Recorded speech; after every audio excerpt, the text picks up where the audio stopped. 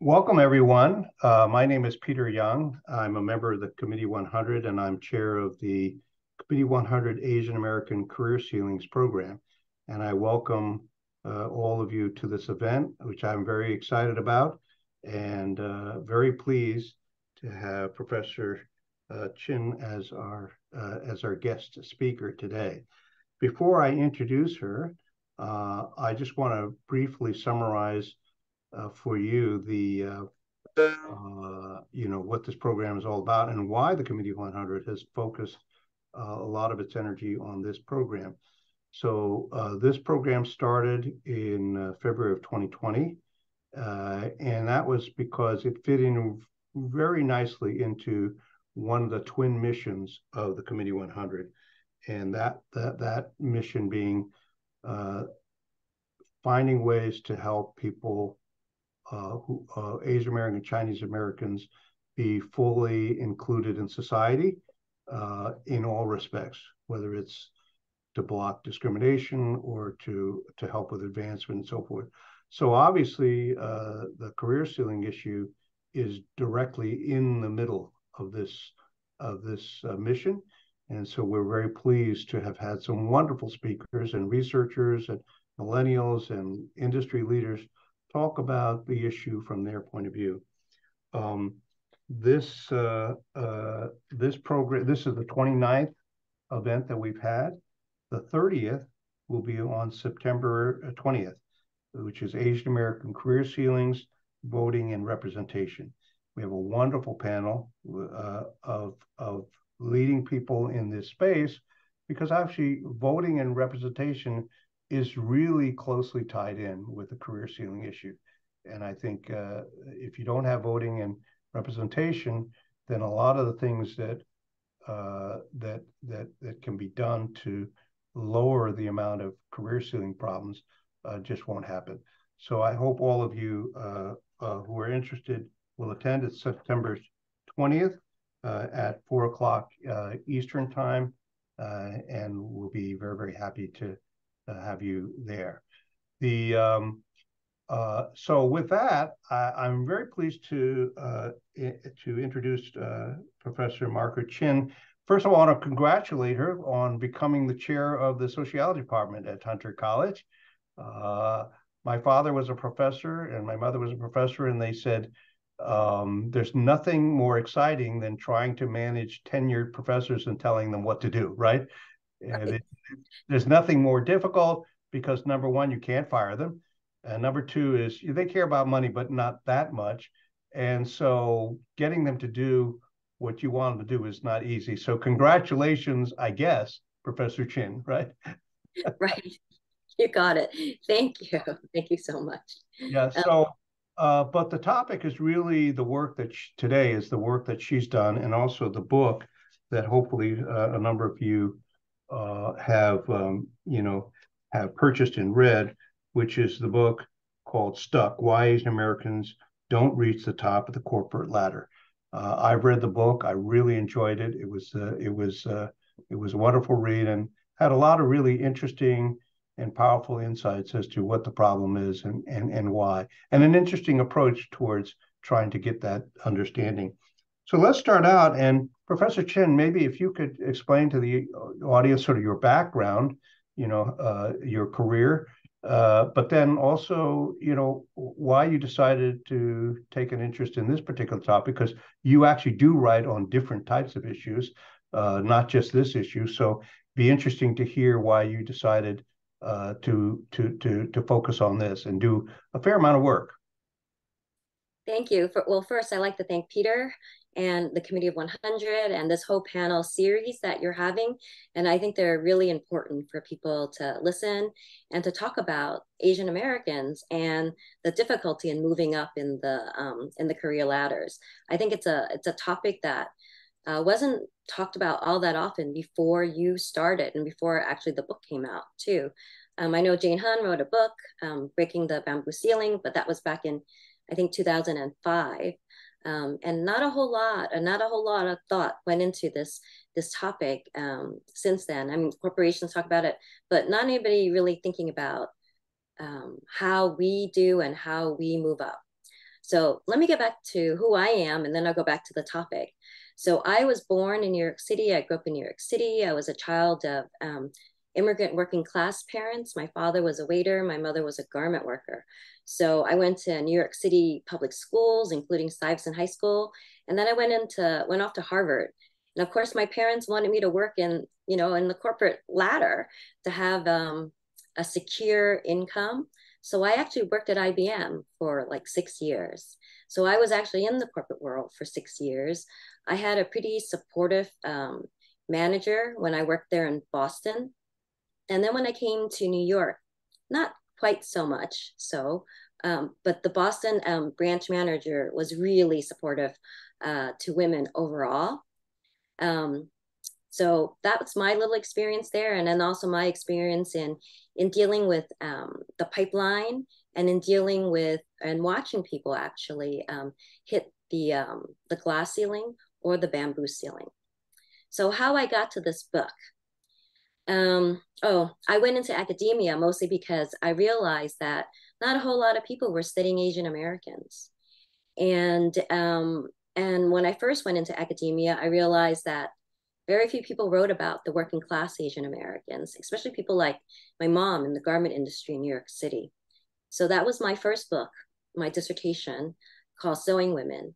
And then I came to this book because you know, I was a Harvard graduate. I um, interviewed um, for applicants, uh, high school applicants applying to college.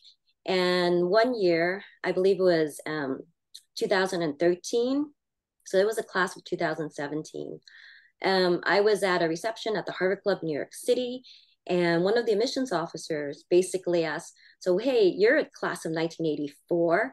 We've admitted so many Asian Americans since then. So, background my class, there were only 5% Asian Americans.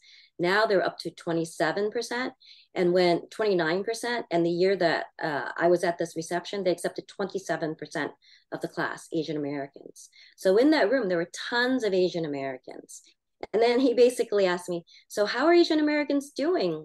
You know, moving on up in the corporate sector and politics or and everything.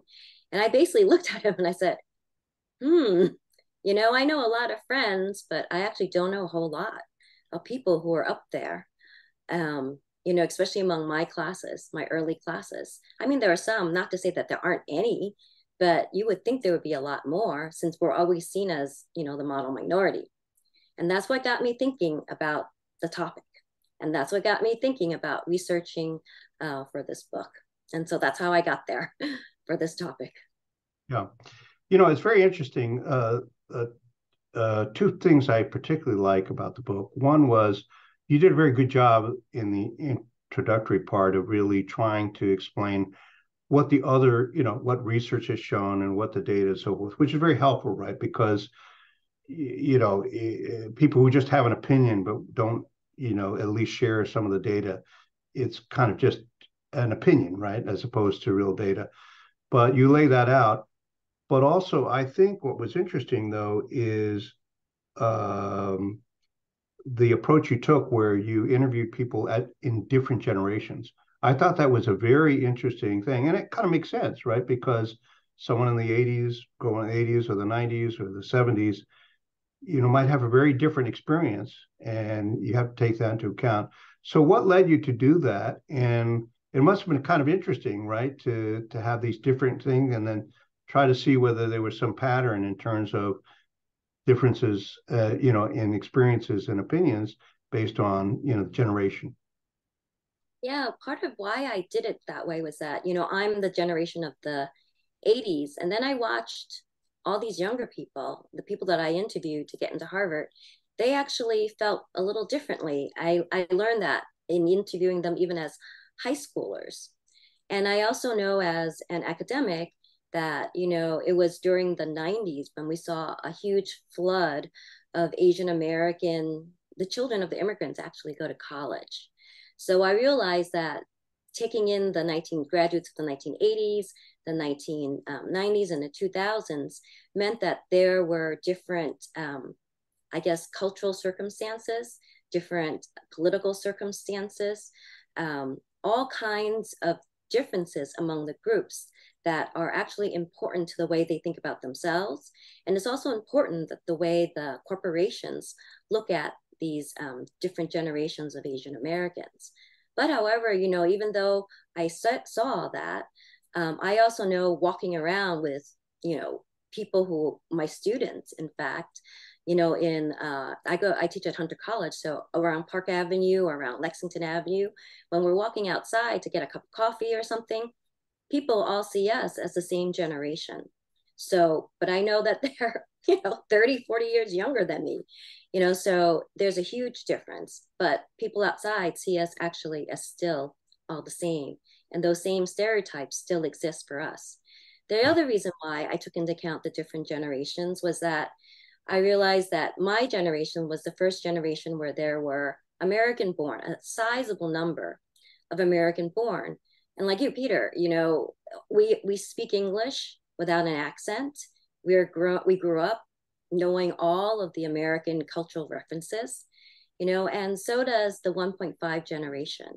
And the 1.5 generation are those people who are born in Asia, but are basically raised here. So I counted also all the people who came here before the age of 13.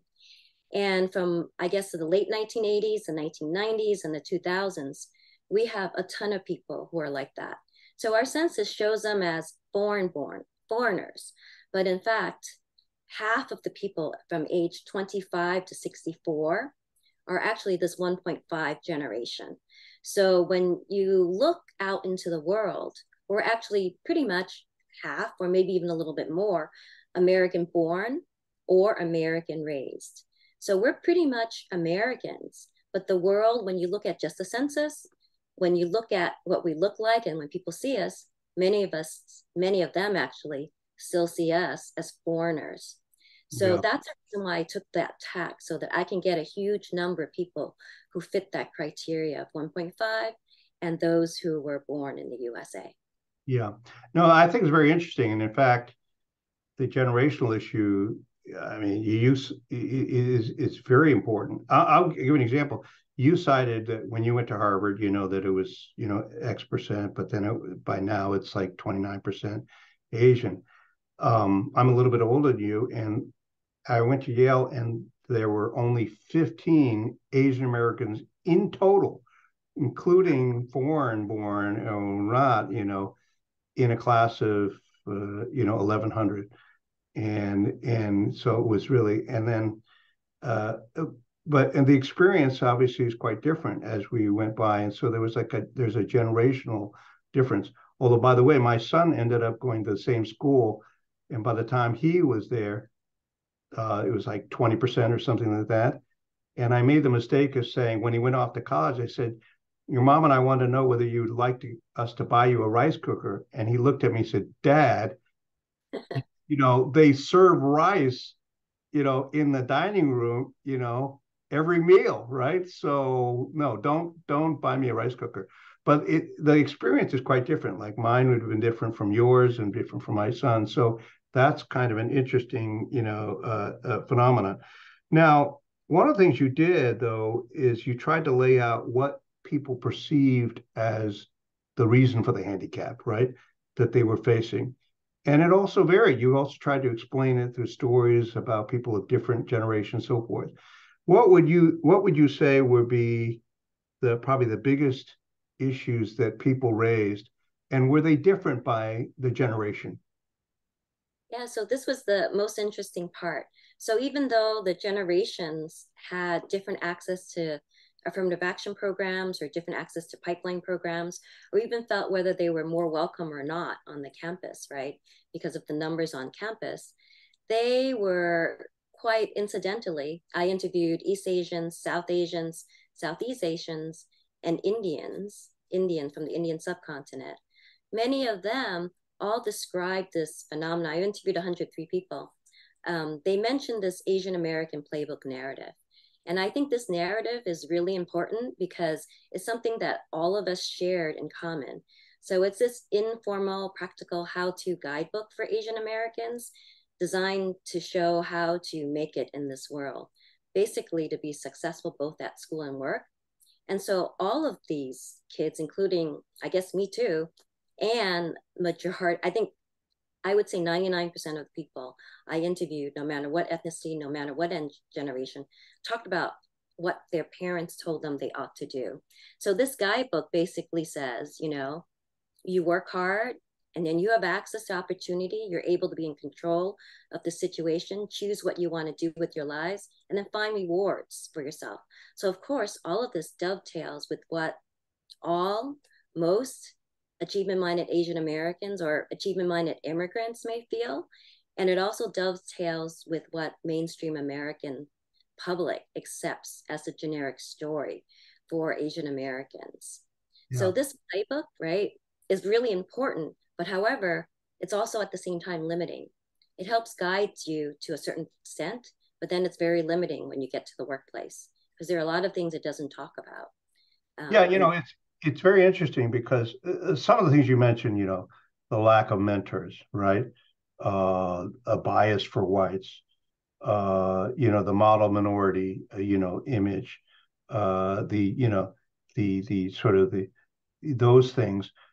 But I also thought it very interesting. You know, you mentioned the word playbook, which I thought was very interesting, and I thought it was very interesting. We said at times the problem was uh, the children were given the wrong playbook.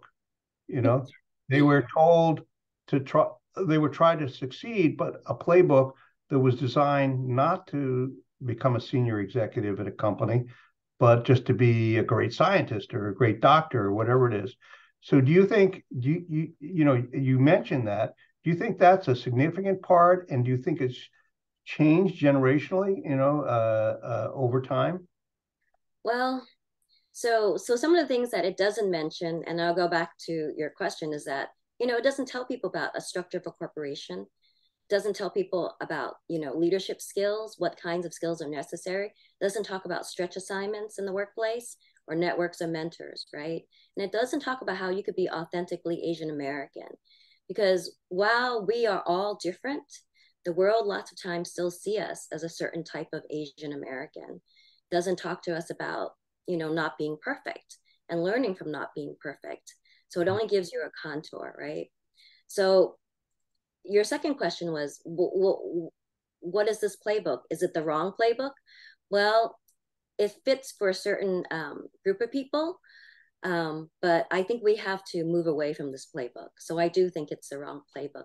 It gives you a contour, an outline, and it gives you an outline, especially for um, working class parents, Asian American parents who can't really or don't have any access to any mentors or don't know where to send their kids. So it gives them kind of an outline to share with a group of kids who may have access, very little access. But then that kind of image that it builds or the kind of Asian American student that it builds isn't enough. So we think that test scores are all you need, but it's not all you need. You actually need more than that. And I think later on in the book, I talk about how so many, there are so many competent people in there, you know, that you actually need to show other uh, qualities to move up other than just competent people. But one other point is that because so many of us follow this and so many people outside of being Asian American believe in this and reinforce this, it's actually something structural like you know, certain testing systems or certain things that where Asian Americans are seen good at, and that's where they're they're pulled into and being that top scientist. You know, they're actually channeled or funneled into certain um, uh, workplaces because people believe that that's where they're good at. So me as a sociologist, there aren't actually that many of us out there who are Asian American sociologists. Let me ask you one question. Um, you know, you raised this issue about the playbook, right? And how for certain generations, and maybe not today, the the parents would say, I want you to study hard, you know, uh, and be a doctor or be an engineer or so forth, right? But skill-based things where, you know, you supposedly, you, you know, you, you, you, there's less discrimination, et cetera. Do you when you you know i don't know the answer to this question but if you look do you know whether the data shows that asian americans have done better than than expected at you know in terms of their number of doctors or number of engineers and scientists and so forth, professors, or is it or or is it not clear? It's not clear because at entry level you'll see this.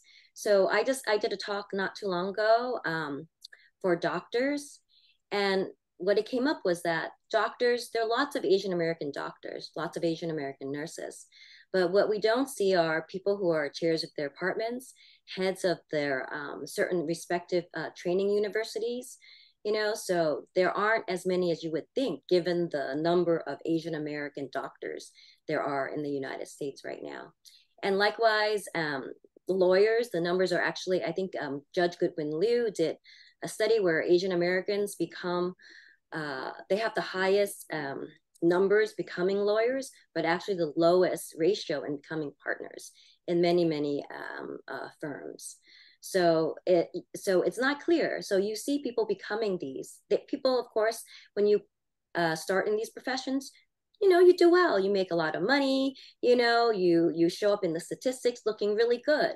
But in the end, when you compare doctors to doctors and what they're actually doing, or lawyers to lawyers, or maybe even engineers, and I can tell you academics, you know, um, in New York City, we now have our first two CUNY Asian American um, presidents of two colleges. Absolutely, um, yeah, absolutely. Yeah, One but, of whom is uh, Frank Wu, you know, who is uh, a Committee 100 member, right? Yeah, absolutely. So that that only happened two, three years ago. I think in the 2020s too. You know, during COVID, he became president, and I think there's David Wu. But before that, there was never an Asian American. And yeah. now, look at the deans, hardly any, and hardly any chairs too. Um, I can tell you that. Frank Wu says, "Don't." He, David Wu is a Wu, but we're not brothers. right, that's right. They're not brothers. Now, not brothers. I'm going to throw out a uh, maybe a, a, kind of a, a, a, a contrarian or explanation, right? So you point out that okay a lot of asians become doctors and engineers and so forth. They just don't become heads of their department or whatever.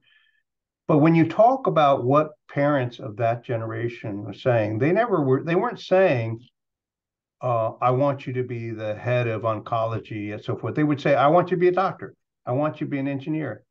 So there are two ways of looking you could either say well it didn't work because they didn't rise to the top or you could say, actually, it worked because they didn't tell their kids, I want you to be head of oncology or the partner of a law firm. They said, or I mean, I want you to be, you know, a scientist. So in a way, there's another explanation. Maybe they were successful, right?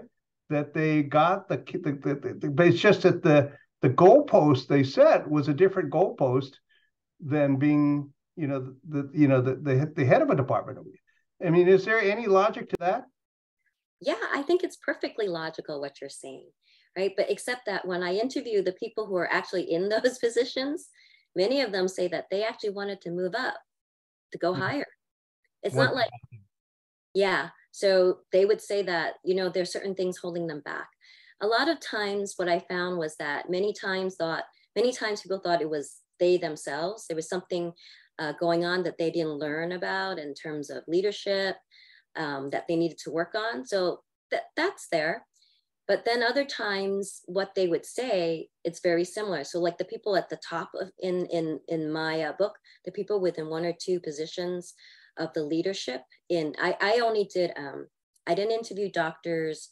I didn't interview um, lawyers. They're mostly um, uh, media people. There were in corporations, finance people. So these people, um, when they talked about moving to the very top, they talked about trust.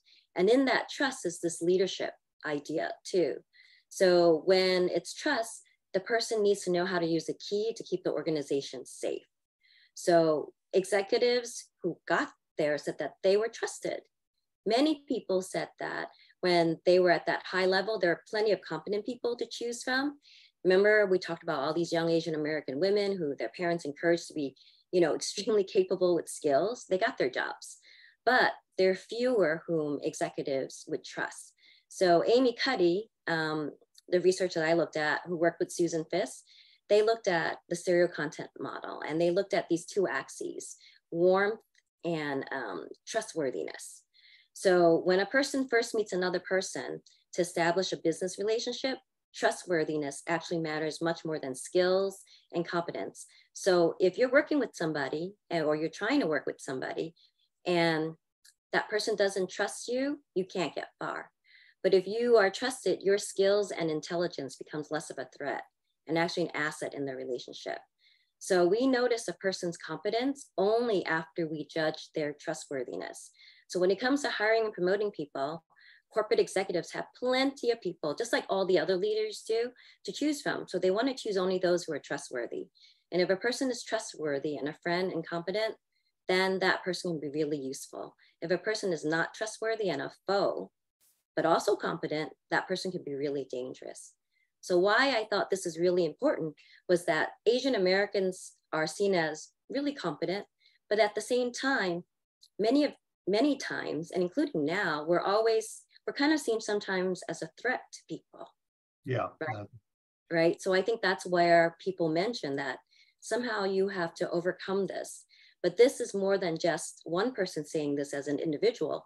I heard this from, I only interviewed seven, I have to say, who was at this top level. Seven people mentioned incidences where they thought it was really important to be seen as, you know, part of the gang at the top, part of the people who fit in, part of the people who shared a lot of similar interests with the people at the top so that they could be trustworthy. Yeah. So those are some of the things that I think would help you move to the top. You know, I'm a I'm a strong believer that although there are certain injustices in society that are structural or otherwise, but it's also very important to ask yourself are some of the problems created by your by us you know what i mean? Because it's so easy to say oh it's other people and their practices and discrimination right that that uh, that create the problem. But i think it's important to say are there some things that we are doing or that in fact contribute to the problem? And let me make a and one we mentioned which is parents who say oh become a scientist study hard whatever it is you know, if they had more of them had said, I would love it if you became the CEO of a company or, or so forth, that might have, you know, had some impact. But let me throw out a couple things that could be in that category, which is, you know, that maybe our approach inhibits. So one is it's very true that Asian Americans in general don't work together the same way that Jewish Jewish American and others so forth. And in this society, a lot of success is you're being part of a group that together work on trying to get ahead and so forth. Uh, so that's one. The second one is a lot of people say, well, there, there are no Asian American mentors, right? Because it's self-fulfilling prophecy. You know, if they, there's not there's no Asian American above you, how are you going to mentor? But if you talk to some of the people like Indian Americans or Japanese, they say a mentor is a mentor regardless of race. And in fact, if you talk to some of the most successful CEOs, they say, I had a mentor, but it wasn't somebody of their ethnicity that was their mentor. So those are two examples of things that maybe we contribute to the problem by the way they behave. Any reaction to those two examples? I, I think you're absolutely right. Um, I think that sometimes many of us have this idea that we're competing with the other Asian American um, next to us. Mm-hmm. And I think that idea of the zero sum game actually promotes some of the things that you're talking about. It actually discourages us from working together. And it actually um, prevents us from actually mentoring other people. Now, there's no reason why we can't have a mentor. I believe that we, well, there are very few people like me. So almost all, in fact, all my mentors have been non-Asian American, except yeah. for maybe one lately, right? So they they don't really there aren't so there aren't a whole lot of us out there, but you but I try to be a mentor to other people now because I realize that it's important, and I try to mentor other people who are um, Black or Latino and Asian American because I notice around me there's so few. In my department, I only have one other African American scholar mm-hmm. you know, a department of 16 people, you know, so I try to mentor as many people as I possibly can. So mm-hmm. I think that part of it is that, um, and I think you're right. It's this idea that we're competing with each other. And that's a very bad, bad mentality.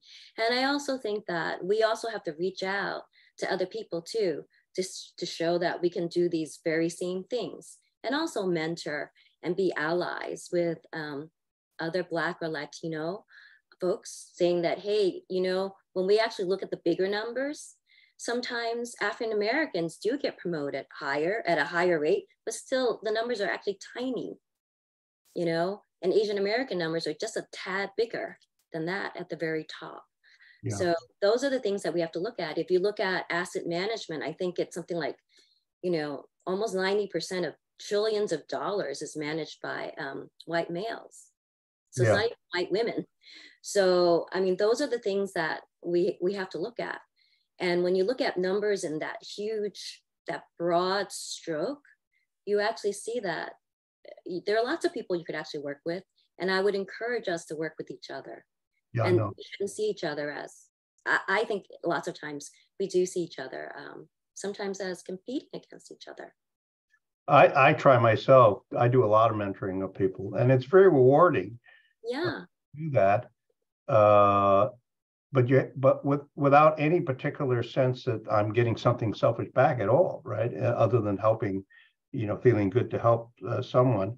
Do you, you know, one of the issues I think, and it's my theory, is that in fact that we're such a small minority. Actually, I'll tell you, I remember when I was growing up, I was talking to someone who had looked at statistics, said the problem for Chinese Americans, he happened to tell me, is there not enough of you to qualify to be a minority.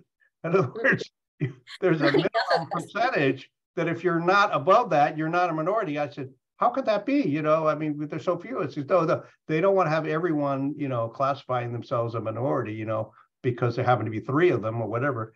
So we had that problem for a long period of time, you know, relative to other ethnic groups, which is just weren't that many. And then we're diverse. So do you think that's also contributed because, you know, because there's diversity within, you know, within, uh, uh, you know, within Asian Americans?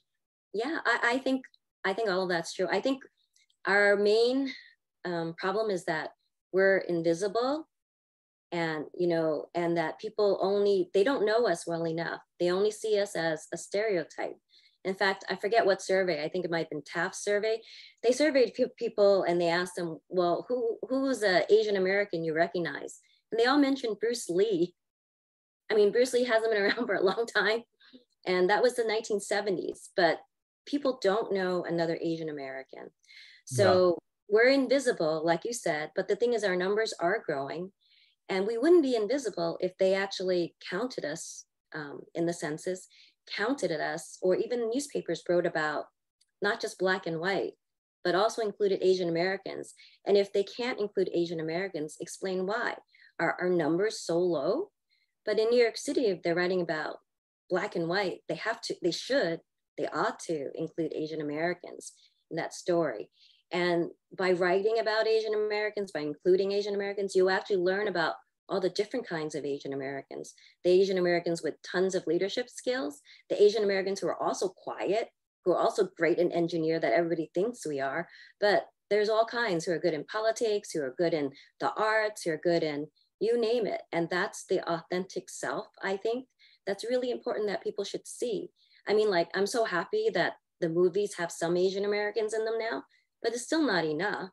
And the ones that um, seem to do well you know, have the big name stars, but very few um, do as well as some of those other movies. And those are the stories that are really important. And the reasons we are very diverse, you, you said. So I, I think it makes it hard for people to count all the different groups.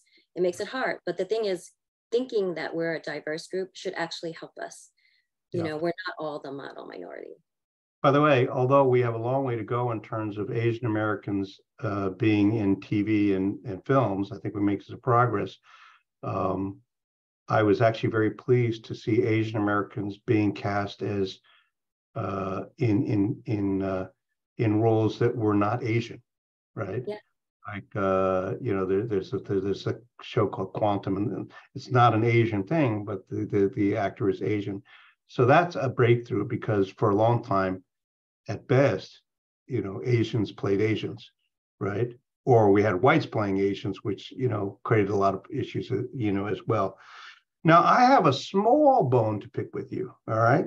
And that you, you know, you did talk about how, you know, uh, Asian Americans, you know, get into the elite schools and so forth, and that is a is a big determinant of success. But yet they're not, yet they're not getting the same representation at the top levels and the CEOs of say Fortune 500 or whatever.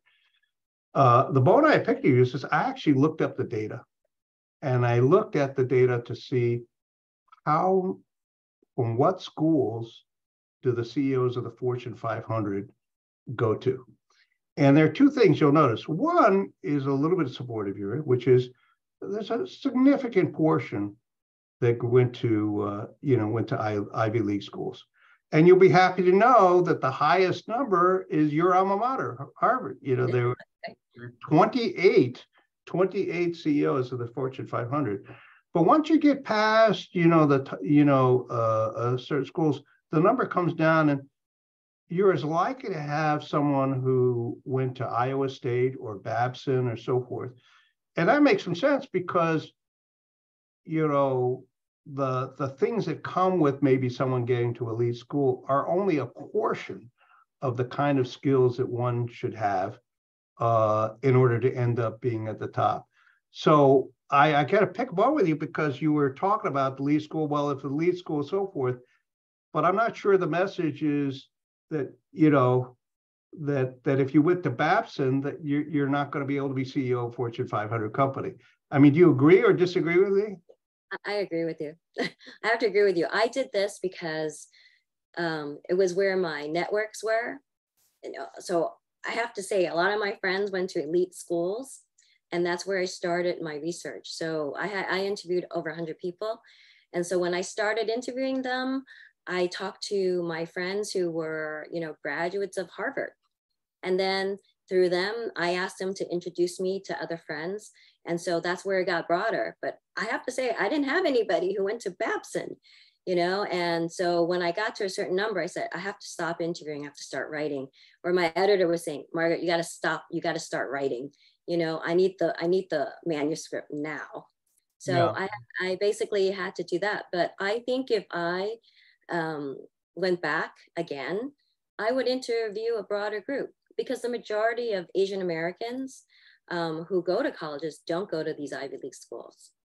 And, you know, and we know that some of our statistics, or we know our statistics tell us that there's a good number of them who are doing really well.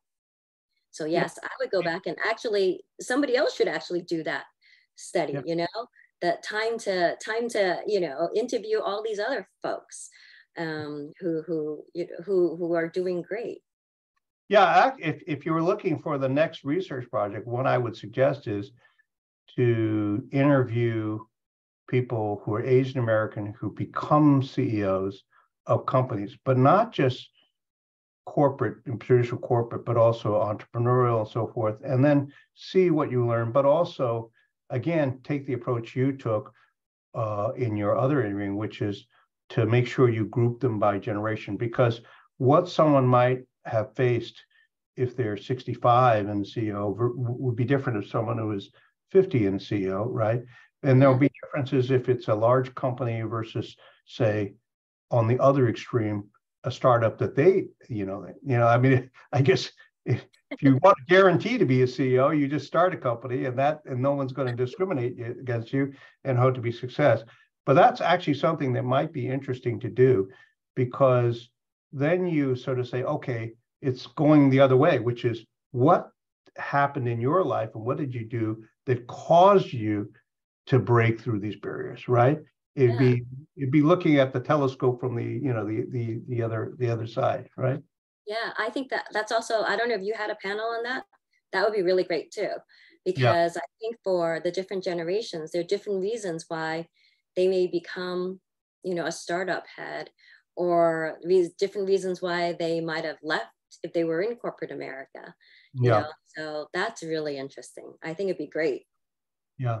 So um, let's see. The other thing is, and you mentioned about this, you know, being viewed differently, model minority, whatever. But obviously, the one thing that clearly is having some effect, and I'd be interested in your view, is this, you know, hate Asia, you know, phenomenon, whatever. And and you know, this is there are a lot of reasons why it's happening, right? Certainly, the tension between China and the U.S. is is a contributor to that, and and so forth. But what what in your view, what effect has this more recent phenomenon having on this issue of the you know the ability of Asian Americans to succeed in corporate work? Do you think it's having any influence? And the other is how do we how do we get out of this right you know out of this problem it's it's it's it's a big big problem that's just i think you know just making the situation worse yeah so in in the us right there's always two but people don't think about it, but there's always two stereotypes that follow us. The model minority always being successful, which hides, you know, our, our inability to move up to the top, right? Um, because people just assume we're already there. And then of course, it's this other one that you talk about, the perpetual foreigner or the forever foreigner. And when people think of us as not really being American, which is what, you know, the, the whole idea of like, um, you know, we, we're, we're Chinese or we're Asia and we're having, con the US is having uh, geopolitical conflicts with countries in Asia. Therefore, they're our competitors and we shouldn't let them uh, steal our secrets or um, even move up because we really don't trust them. So that's a huge, um, um, I guess, problem that affects us in our work world and also in our daily lives like anti-Asian violence. Daily lives, people may um, make fun of us again or make fun of our kids. Uh, I've heard reports of that increasing even in New York City, uh, where people feel that um, they're not treated fairly enough and people think of them as uh, foreigners or people making those um, ching chong kind of language things to their kids, things that we may have faced as graduates in the 1980s or 1970s, it's coming back around again because of this um, tension and because of COVID. Now, how do we, so it causes, it's causing a problem actually for people up and down the age range um, that people haven't, people may not know about it. But I think for people in corporate America to deal with is that we have to show people in many, many ways that we are also American. And mm-hmm. how do we show people that we're American? In many ways, it's by showing people that we work with allies, we work with people. Um, we're trying to fight for our voting rights. We don't want people to say that um, we can't buy land in certain states. We actually have to take right. right we actually have to take a political stand like you say like what your next your whole next panel is about so many times it means actually expressing what we think and that is part of what US democracy is all about. That many of us, some of us may be fearful of, but most of us actually need to take a stand on. And I think that would actually help. And I think that what else is driving this is that it affects, um, that image affects all the people around us, not just white folks, Black folks, Latino folks, you know, and even Asian Americans who may think that we are not American enough. So the whole idea is to um, show in the corporate world, even in your, um, keep those ERGs, those employee resource groups, keep those um, DEI initiatives. Even though people are fearful of losing them, you need to keep them to be able to show that we are as a we are a group and we are important as a group and we are actually as American as everybody else. And as I mentioned, half of us are actually American born and American raised. We're in the workforce. Yeah, no, that's right. Well, I think it's going to be a challenge, you know, and I think you know, if I thought that the tensions with China were just temporary or whatever, maybe I worry a little less. And the reality is the history of discrimination against Chinese is a very, very long, you know, the Exclusion Act and so forth. I mean, you know, uh, you know, when my father immigrated to this country, uh, and we lived in Virginia, it was illegal for a white to marry an uh, an Asian. It was, yeah. you know, illegal. I mean, just a frightening, and it's you know, you really, really, really worry about whether things are going to turn back to some of those things, as you know, and, and this land purchase thing is just eh, another an example of things that could could go back to the way it was, which is was bad. It's terrible, and you know, I think what what's also going on is that um, it's really important to learn our history because you talk about our history with the Chinese Exclusion Act and with the intermarriage, misogyny, anti-miscegenation laws. You know, um, so Loving versus Virginia. Anyway, so those are really important. So we we need to put it in the context, right? So after the Civil War, there was the Reconstruction where African Americans actually became they had the highest number of uh, congressmen and senators ever. And then right after that was um, um, they actually ended Reconstruction shortly after. So it was 1864, 68, and then all of a sudden um, six years after the end of Reconstruction, it was the Chinese exclusion laws. So we can't look at that without seeing a connection. And yeah, I think many people, yeah, many people don't realize that. And I think that if we get out there to vote, we actually say, look, our history, and it's coming back again, and it's actually coming back to haunt the other groups too, um, you know, is really important. So I know in a lot of DI groups, um, they talk about anti-bias, but I think maybe what's more important is that all the groups should share histories, share yeah. basic histories. And if you learn about our histories, we'll try not to repeat it. But the problem is not a whole lot of people know our shared history in the US. And it's not something bad. I mean, like it's a sad chapter, a lot of these things, but we should know it. I mean, like I went to Munich, I could, you know, I went to see Dachau and that was a great way they presented it, what happened there. We yeah. need to be able to address it the same way or a similar way, like yeah. that our history in the US. Yeah, and I and I, you make a good point, which is I do think that uh, one of the things which is a problem is that other ethnic groups don't necessarily realize how badly Asian Americans were treated for a long time. And I won't repeat, you know, certain phrases, but you know, there's some people, other ethnic groups said, well, you don't know how bad, you know, it was for us, you know, compared to, you know, your, you know, Asian Americans. But it, it, they just they're never educated. They were never educated, you know, about the history of discrimination, uh, you know, and and as a result, they have this false impression that things have been not so bad for Asian Americans relative to, you know, other other other Asian American groups. Uh, Oh, by the way, you talked about voting, and so therefore, please, all of you, September 20th, you know, voting and representation. I want you to, to because Margaret said it's important, so you should you should uh, attend. One of the things, you know, you focused on rising through the ranks in corporate, and you were very specific. You said, I'm not going to try to focus on academia or or on, you know, other professions. Uh, but closely related to the success on the corporate ladder is board representation.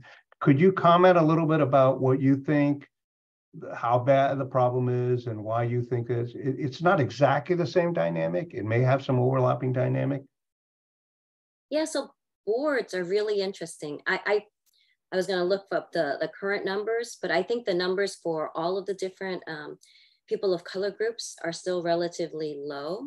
Although I think Asian Americans are getting higher up there. Women are generally low, but board dynamics are different because you need to be on, usually on another board to be nominated onto a board.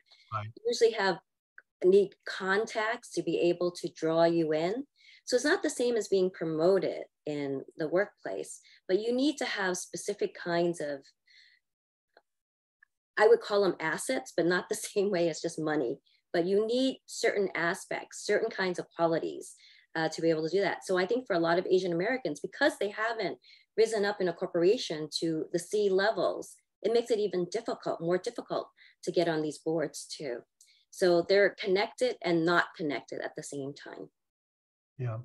One other pet pet theory that I have is the uh, not the misdirection, but the false, the the you know the the promotion that creates a dead end. And one theory I have is you know, when there was a lot of activity in Asia for Japan, China, so forth, one of the favorite things was to have someone head of Asia who was Asian, right? So forth. And yet, I do think that actually became a trap because then you were seen as you were a special purpose executive, you know, and that you were make give that position because you were Asian and it's an, you know, the Asian thing. But then I I know a lot of people who found it very hard to come back you know get promoted up to the corporate level you know above the you know head of asia or something like that do you think that's true and and and any advice to people who you know should you sort of say no i don't want to be uh you know become head of the asia thing because uh, you might get trapped there yeah so I, I interviewed somebody who was exactly in that position and she came back and she couldn't really move up anywhere um, in the us so I think person who's offered that position have to needs to think about it carefully. And I think if you can negotiate away like a limited time and to come back in a certain position here back in the US, then I think that might be the way to do it. So that way it's a stint. It's just a stint on your leg and your journey up the corporate ladder. I'm going to learn about Asia so that I can know more about all the different aspects of the company. But you have to know that going in. And not a whole lot of people know that, that they're actually, um, like you said, it's a trap. They're cornering you in to a certain position where they believe that that's the only place you could be. There's no and, other. And you get you get stereotyped from a you know managerial point of view, right? Yeah. Now, uh, one of the things that we've got a large group of people who are listening and so forth. And I want to tell you, Margaret, you're one of the few where the number of people has been going up since we started. So usually, you know, you, you lose people, but it's been going up. I've been watching. Uh, for all the people in the audience, maybe if you said, what are the five or six things that you would advise them in terms of to the extent that they're trying to make their way to the top in the corporate world, right? Because that's where you've been focused. Sure. So I usually give advice on both. You could there's things that you can improve yourself, and there are things I think that you could advocate for the corporation or your organization to try to help to improve for you and for all the people coming up or and even the people above you so there's always two ways of looking at this and doing it so all of us know that you know we're not perfect right there's skills that we could learn go out and do better in that you know if you need help in speaking skills go take a presentation workshop if you think that your storytelling needs help go take a writing or narrative class and learn how to tell better stories so that you can, you know, do those presentations. That's always helpful. That's always fun. Um, and you get to meet lots of people, right?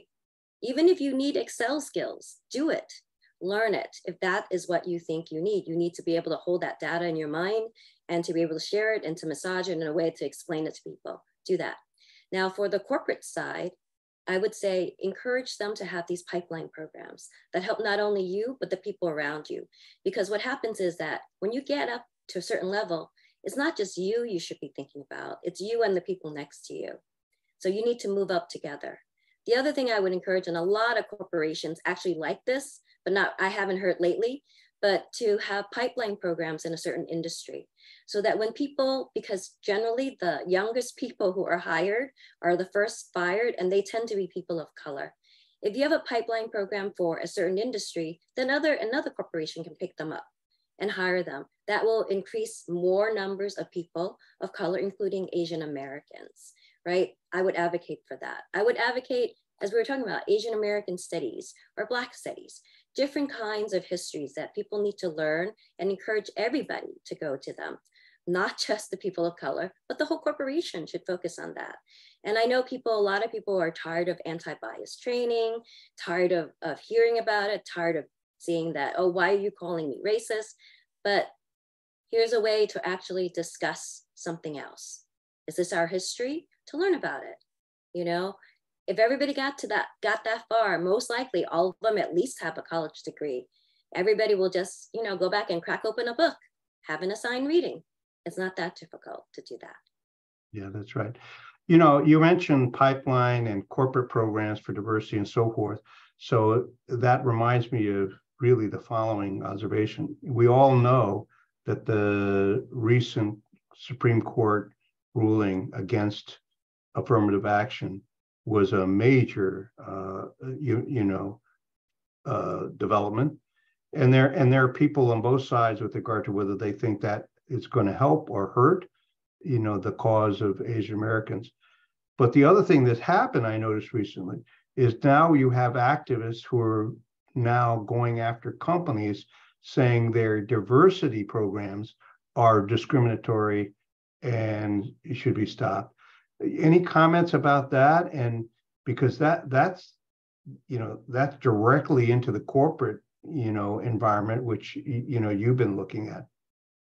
Yeah. So the the court rulings actually don't say anything about corporations. Right. Those groups should not be uh, calling or suing firms or suing venture funds, stopping them from giving out $20,000 when venture fund capital, when billions actually go out to, when you look at the racial numbers, go out to white folks, right?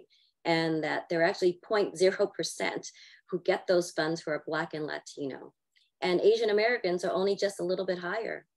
So that is truly injustice. And lawyers actually have to be looking and using those numbers to sue the other way around. It's not just about the racial category, but it's actually about how much money is being given out in ratio to who actually has it out there. So as a sociologist, I would say you can't lose those metrics. You can, they're going to sue you in all kinds of things, but you cannot have EO, you cannot have your company stop counting the number of people in these different categories or in the different ethnic categories for Asian Americans in addition. So that's very important because if you lose those categories, how are you going to know how few of us have moved up? Part of the reason why I was able to do this study was that I knew the full numbers and people actually knew those numbers. And it wasn't about, and they even, individuals didn't even say I was discriminated against they talked about what was going on in the company overall. And mm-hmm. so we got that sense. Yeah, that's right. Well, I'm I'm going to encourage people. We uh, we have a few minutes, so if there's anyone who has a question, please uh, either raise your hand or type type type in your question into the chat box, and let, and hopefully we can see it. We have Okay. Christine, you raised your hand. Please say your question, and the next one will be uh, Mary Del Chu. So go ahead, Christine. Okay, hi. Uh, thank you so much for an informative um, webinar. I think that the chat has been disabled, so that's why I raised my hand. But it will be okay if, um, like, uh, for us to connect with you and um, like you know, are you comfortable, uh, Peter and Margaret, to share your maybe some some email of your office? We would love to be in touch with you. Um, and also maybe we could also invite you for some other um, event. I think that is so so helpful and the content that you provided is is so useful a lot of us even you know asian are not aware of what you are saying and you are saying such in a clear way. So that you know we would like to invite you again. Um, well thank you so much. Um, my um, my information is on the hunter college website. Okay. so you always find me there. I i have to say that i am uh, kind of um i'm learning how to be chair which is really difficult. Um so um but you know you you can let me know. Let me know what you're doing and um, we'll see. We'll see how it goes. By the way, my father was chair, was a professor and chair of his department, and he he he would agree with you. It's not so easy. Uh, Mary Del Chu, you you uh, you know, please unmute yourself. You you raised your hand quite a while ago. Go ahead. Hi, can you hear me? Yep. Oh, yeah. Um, I I live in San Diego, and um, um, I was I was accepted to UC Berkeley, but I had an illness, so I couldn't go. So I went to UCSD. Um, but I've experienced um, a lot of prejudice my whole life, and even I'm still experiencing that right now. And um, I I reach out to people, but they're not after a few questions they find out i'm from here and not from china and then they lose interest So Um, is there, yeah, so yes, I could, I mean, a lot of people, as I mentioned before, they have this perpetual foreigner idea that we're always, all of us are um, not from here. And that has to do with the way the census uh, portrays us. As I mentioned, the 1.5 generation, you know, they're, they're, they might have come here when they're age three, but they're thoroughly American, but the census still counts them as foreign born. So the, in the census, the majority of us are still foreign born. But when you meet us and talk to us, we're all pretty much American and we have to exercise our American right, rights to vote and to speak out. I think that's really important. Uh, we're not that small of a group anymore, especially in the large cities. So Yeah. thank you. Wei Chu? ahead. Hi, can you? We can- Oh, oh, great. Thank you. Thank you. Um, thank you so much for all the information. Very informative and a lot of everything you both have said, I could completely relate to. What I do have a very similar challenge in that climbing up the ladder, I'm continuing to uh, secure a low a spot that I'm quite comfortable and hit that ceiling. What I tend to under my understanding, at least my observation where the the buck has stopped, it was possibly because of management style, um, where as an Asian American, when you're raised with a certain, uh, I would say attributes and the style of, com- of communication, could that be potential one of the factors that could be hindering that that climb or the you know ascending to above? Yeah, of course. So I think even more so, you're female. So lots of times when you look at gender, we're not we're we're women and we're also Asian American. And so sometimes it's not ourselves, but because we may be a little bit quiet, but people assume that being quiet means that you're also not a good leader, right? So it's not something you did wrong, but it's also because it comes from a place where you're female, you're seen as quiet, you're Asian American, you're seen as quiet. And they just don't see that you could be a possible leader. So it could be the opposite too. So if you're assertive and you're a female and you're an Asian American, you're opposite the stereotype, what people think you are, it actually hurts you in many, many ways. So, but for a female, and a lot of studies have been done that Asian American females are actually have the most difficult time moving up. And this is when they compare to Black women, Latino women, and Asian American men, because all of the stereotypes about us are actually not seen as any kind of leadership stereotypes or leadership um, qualities, is what they are.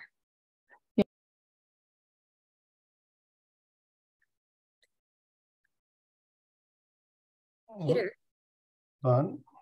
yeah, can we have um, a last question? I have to run off. Uh, And So this, so hold on one second, hold on. I'm going to. I'm having some trouble with the controls here. Okay, all right, last, last question. So um, I think uh, I think I was asked to speak, um, and I'm I'm asking about two two kind of related questions about groups within the Asian American population.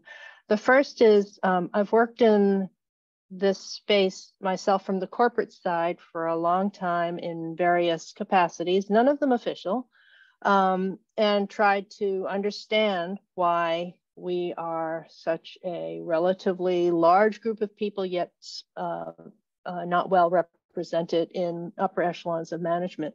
One of the things I found in my early years was I found a lot of American born um, Asians, mostly Chinese, were very reluctant to self identify and as um, being a part of a group that needed support and needed to support each other. Um, many of whom I spoke to actually said, Oh, I don't have any problems. I don't see any problems. And I kept thinking, Wait till you get to my age. You will see there will be a ceiling. And some are seeing that now, but it's kind of, you know, it's like I wish we could have done something 20 years ago. Another and, and so i guess i'm wondering if you saw any of that because you have mentioned the asian born chinese and or the american born chinese and i i felt that they had actually self-selected not to belong. And kind of related to this i find there's a lot of south asians who i feel but i have no statistics to go to re- reference who i feel have done quite well. And i'm wondering whether you see the same thing and why that might be if you do. I will just interrupt by saying we had a couple of previous panels with researchers who did research exactly on this. You know, Mike mm-hmm. Mike Morris of Columbia Business School and Jackson Lu of MIT Sloan School, and their data uh, would certainly suggest suggest that Indian Americans do better than other uh, Asian Americans, and they have reasons why. Uh, and we that, that's recorded. So if you're interested, just go to the Committee 100 website and listen to that recording. And thank you. Uh, they'll explain at least why they think uh, Indian okay. Americans do better than other Asian Americans. But go ahead, Margaret. Margaret. Yeah. so uh, your first part about American born. So it kind of depends where you're growing up. And like every Asian American um, is very different depending on the generations they come from and depending on which ethnic group they are. So Indians are very different, Chinese are very different. And so it could be that at the time you were talking to that the group and where they came from, Chinese were actually doing quite well moving up. So there's a time when people did get affirmative action in the workplace or were noticed in these pipeline programs or were recruited into certain areas where people felt that Asian Americans were needed. So that was definitely the case, you know, when I started in the corporate world, and I think short and right after too. And only a little bit later where I think these uh, um, affirmative action programs were pulled out. And many Asian Americans were no longer included in them, right? So it kind of depends on the individual. Some Asian Americans also feel very uncomfortable identifying and saying that they are actually um, Asian American or want to be with other Asian American groups. Now, we are all different, I have to say, and we have to respect our differences. But as a group, as a whole, people still outside of the group see us and many times treat us the same way. So overall, we see these lower numbers, but there's no, nothing to say that individuals haven't moved up. And we do have successes. It's not like we don't, we do, but we don't have large success, is what I think um, Peter and I uh, we talk about in this uh, seminar series. Yeah. So we like uh, we need to end. I, I, apologize. A couple of you had questions, but we've run out of time. Uh, first of all, I want to thank Professor Chin for you know one. It was a wonderful book. I encourage all of you if you don't have a copy or you know to to to purchase it. Some wonderful insights, and thank you so much for sharing uh, your uh, you know your perspectives with the audience. Um, and um, congratulations and condolences on being promoted, right? And uh, again, for all, I want to thank all of you in the audience and thank you for participating. And we look forward to seeing you at the next Committee 100 Asian American Career Ceilings event. Thank you for having me. Take care. Bye-bye.